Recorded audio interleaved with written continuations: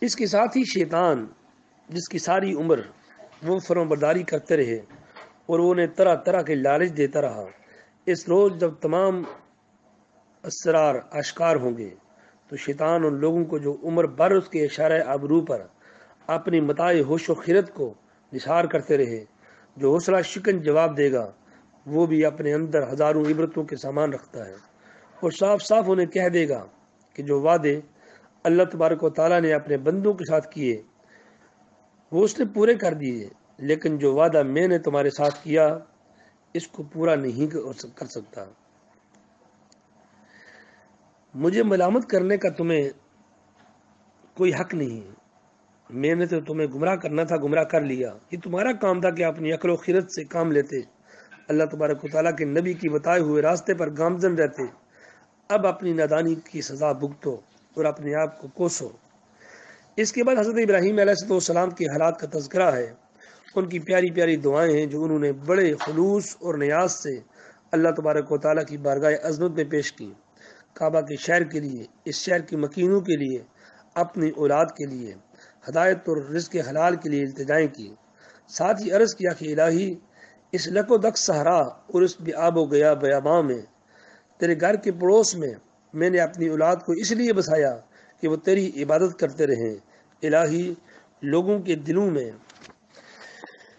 ان کی محبت اور لگن پیدا کر دے تاکہ وہ ان کے پاس کھچ کھچ کر چلے آئیں۔ یہ وادی جہاں سرسبز و شادابی کا دور دور تک نشان ہی، اس وادی میں رہنے والوں کو کھانے کے لیے تازہ پھل عطا فرما۔ حضرت خلیل علیہ والسلام کی ساری دعائیں قبول ہوئیں اور اگر کسی کو اس کا عینی مشاہدہ کرنا ہو تو آج بھی مکہ مکرمہ جا کر مشاہدہ کر سکتا ہے۔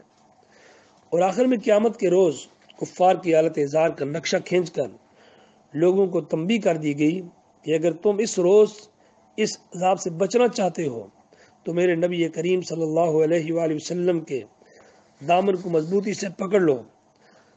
تمہارا مکر اگرچہ اتنا زبردست ہو کہ پہاڑوں کو اپنی جگہ سے ہلا ڈالے۔ لیکن تم اپنے برے مقاصد میں کامیاب نہیں ہو سکتے۔ میں حق کا محافظ ہوں۔ تمہارے سارے منصوبے اور سازشیں دری کی دری رہ جائیں گی۔ اللہ تبارک و تعالی ہم سب کو اپنا عرفان اور صراط مستقیم پر ثابت قدمی سے آگے بڑھنے کی توفیق عطا فرمائے۔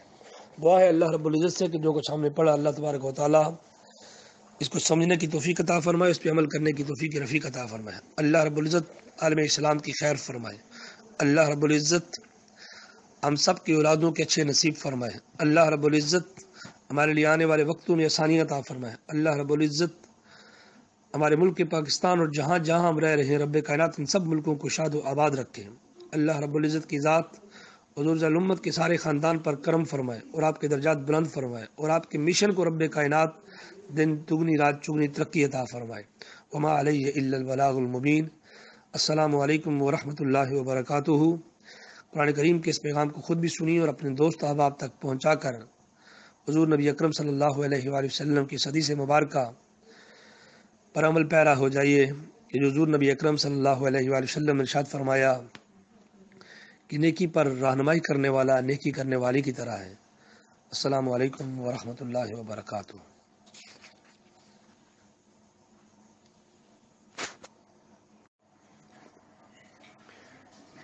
اس کے ساتھ ہی شیطان جس کی ساری عمر وہ فرم برداری کرتے رہے اور وہ انہیں طرح طرح کے لالچ دیتا رہا۔ اس روز جب تمام اسرار اشکار ہوں گے تو شیطان ان لوگوں کو جو عمر بر اس کے اشارہ آبرو پر اپنی متاع ہوش و خیرت کو نثار کرتے رہے، جو حوصلہ شکن جواب دے گا، وہ بھی اپنے اندر ہزاروں عبرتوں کے سامان رکھتا ہے اور صاف صاف انہیں کہہ دے گا کہ جو وعدے اللہ تبارک و تعالیٰ نے اپنے بندوں کے ساتھ کیے۔ وہ اس نے پورے کر دیے، لیکن جو وعدہ میں نے تمہارے ساتھ کیا، اس کو پورا نہیں کر سکتا۔ مجھے ملامت کرنے کا تمہیں کوئی حق نہیں۔ میں نے تو تمہیں گمراہ کرنا تھا، گمراہ کر لیا۔ یہ تمہارا کام تھا کہ اپنی عقل و خیرت سے کام لیتے۔ اللہ تبارک و تعالیٰ کے نبی کی بتائے ہوئے راستے پر گامزن رہتے۔ اب اپنی نادانی کی سزا بھگتو۔ اور اپنے آپ کو کوسو۔ اس کے بعد حضرت ابراہیم علیہ السلام کے حالات کا تذکرہ ہے۔ ان کی پیاری پیاری دعائیں ہیں جو انہوں نے بڑے خلوص اور نیاز سے اللہ تبارک و تعالیٰ کی بارگاہ عظمت میں پیش کی۔ کعبہ کے شہر کے لیے، اس شہر کی مکینوں کے لیے، اپنی اولاد کے لیے، ہدایت اور رزق حلال کے لیے التجائیں کی۔ ساتھ ہی عرض کیا کہ الہی، اس لک و دک سہرا اور اس بھی آب و گیا بیاباں میں، تیرے گھر کے پڑوس میں میں نے اپنی اولاد کو اس لیے بسایا کہ وہ تیری عبادت کرتے رہیں۔ الہی، لوگوں کے دلوں میں ان کی محبت اور لگن پیدا کر دے تاکہ وہ ان کے پاس کھچ کھچ کر چلے آئیں۔ یہ وادی جہاں سرسبز و شادابی کا دور دور تک نشان ہی، اس وادی میں رہنے والوں کو کھانے کے لیے تازہ پھل عطا فرما۔ حضرت خلیل علیہ والسلام کی ساری دعائیں قبول ہوئیں اور اگر کسی کو اس کا عینی مشاہدہ کرنا ہو تو آج بھی مکہ مکرمہ جا کر مشاہدہ کر سکتا ہے۔ اور آخر میں قیامت کے روز کفار کی حالت اظہار کا نقشہ کھینچ کر لوگوں کو تنبی کر دی گئی کہ اگر تم اس روز اس عذاب سے بچنا چاہتے ہو تو میرے نبی کریم صلی اللہ علیہ وآلہ وسلم کے دامن کو مضبوطی سے پکڑ لو۔ تمہارا مکر اگرچہ اتنا زبردست ہو کہ پہاڑوں کو اپنی جگہ سے ہلا ڈالے۔ لیکن تم اپنے برے مقاصد میں کامیاب نہیں ہو سکتے۔ میں حق کا محافظ ہوں۔ تمہارے سارے منصوبے اور سازشیں دری کی دری رہ جائیں گی۔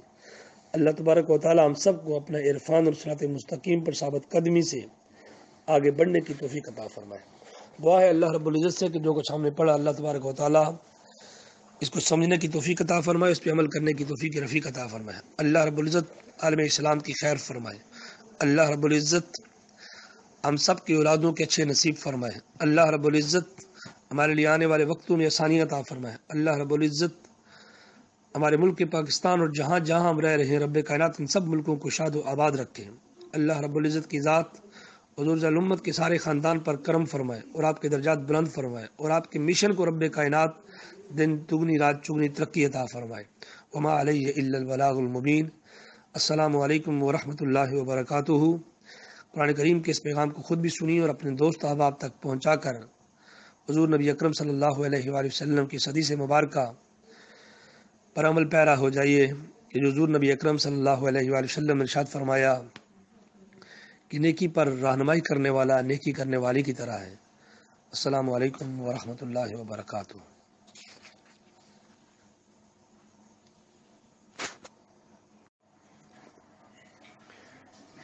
اس کے ساتھ ہی شیطان جس کی ساری عمر وہ فرم برداری کرتے رہے اور وہ انہیں طرح طرح کے لالچ دیتا رہا۔ اس روز جب تمام اسرار اشکار ہوں گے تو شیطان ان لوگوں کو جو عمر بر اس کے اشارہ آبرو پر اپنی متاع ہوش و خیرت کو نثار کرتے رہے، جو حوصلہ شکن جواب دے گا، وہ بھی اپنے اندر ہزاروں عبرتوں کے سامان رکھتا ہے اور صاف صاف انہیں کہہ دے گا کہ جو وعدے اللہ تبارک و تعالیٰ نے اپنے بندوں کے ساتھ کیے۔ وہ اس نے پورے کر دیے، لیکن جو وعدہ میں نے تمہارے ساتھ کیا، اس کو پورا نہیں کر سکتا۔ مجھے ملامت کرنے کا تمہیں کوئی حق نہیں میں نے تو تمہیں گمراہ کرنا تھا، گمراہ کر لیا۔ یہ تمہارا کام تھا کہ اپنی عقل و خیرت سے کام لیتے۔ اللہ تبارک و تعالیٰ کے نبی کی بتائے ہوئے راستے پر گامزن رہتے۔ اب اپنی نادانی کی سزا بھگتو۔ اور اپنے آپ کو کوسو اس کے بعد حضرت ابراہیم علیہ السلام کے حالات کا تذکرہ ہے۔ ان کی پیاری پیاری دعائیں ہیں جو انہوں نے بڑے خلوص اور نیاز سے اللہ تبارک و تعالیٰ کی بارگاہ عظمت میں پیش کی۔ کعبہ کے شہر کے لیے، اس شہر کی مکینوں کے لیے، اپنی اولاد کے لیے، ہدایت اور رزق حلال کے لیے التجائیں کی۔ ساتھ ہی عرض کیا کہ الہی، اس لک و دک سہرا اور اس بھی آب و گیا بیاباں میں، تیرے گھر کے پڑوس میں میں نے اپنی اولاد کو اس لیے بسایا کہ وہ تیری عبادت کرتے رہیں۔ الہی، لوگوں کے دلوں میں ان کی محبت اور لگن پیدا کر دے تاکہ وہ ان کے پاس کھچ کھچ کر چلے آئیں۔ یہ وادی جہاں سرسبز و شادابی کا دور دور تک نشان ہی، اس وادی میں رہنے والوں کو کھانے کے لیے تازہ پھل عطا فرما۔ حضرت خلیل علیہ والسلام کی ساری دعائیں قبول ہوئیں اور اگر کسی کو اس کا عینی مشاہدہ کرنا ہو تو آج بھی مکہ مکرمہ جا کر مشاہدہ کر سکتا ہے۔ اور آخر میں قیامت کے روز کفار کی حالت اظہار کا نقشہ کھینچ کر لوگوں کو تنبی کر دی گئی کہ اگر تم اس روز اس عذاب سے بچنا چاہتے ہو تو میرے نبی کریم صلی اللہ علیہ وآلہ وسلم کے دامن کو مضبوطی سے پکڑ لو۔ تمہارا مکر اگرچہ اتنا زبردست ہو کہ پہاڑوں کو اپنی جگہ سے ہلا ڈالے لیکن تم اپنے برے مقاصد میں کامیاب نہیں ہو سکتے۔ میں حق کا محافظ ہوں۔ تمہارے سارے منصوبے اور سازشیں دری کی دری رہ جائیں گی۔ اللہ تبارک و تعالی ہم سب کو اپنا عرفان اور صراط مستقیم پر ثابت قدمی سے آگے بڑھنے کی توفیق عطا فرمائے۔ دعا ہے اللہ رب العزت سے کہ جو کچھ ہم نے پڑھا، اللہ تبارک و تعالی اس کو سمجھنے کی توفیق عطا فرمائے، اس پہ عمل کرنے کی توفیق رفیق عطا فرمائے۔ اللہ رب العزت عالم اسلام کی خیر فرمائے۔ اللہ رب العزت ہم سب کی اولادوں کے اچھے نصیب فرمائے اللہ رب العزت ہمارے لیے آنے والے وقتوں میں آسانی عطا فرمائے۔ اللہ رب العزت ہمارے ملک پاکستان اور جہاں جہاں ہم رہ رہے ہیں، رب کائنات ان سب ملکوں کو شاد و آباد رکھے اللہ رب العزت کی ذات حضور ظلمت کے سارے خاندان پر کرم فرمائے اور آپ کے درجات بلند فرمائے اور آپ کے مشن کو رب کائنات دن تگنی رات چگنی ترقی عطا فرمائے۔ وما علیہ الا البلاغ المبین۔ السلام علیکم ورحمۃ اللہ وبرکاتہ۔ قرآن کریم کے اس پیغام کو خود بھی سنی اور اپنے دوست احباب تک پہنچا کر حضور نبی اکرم صلی اللہ علیہ وآلہ وسلم کی صدی سے مبارکہ پر عمل پیرا ہو جائیے کہ جو حضور نبی اکرم صلی اللہ علیہ وآلہ وسلم ارشاد فرمایا کہ نیکی پر رہنمائی کرنے والا نیکی کرنے والی کی طرح ہے۔ السلام علیکم ورحمۃ اللہ وبرکاتہ۔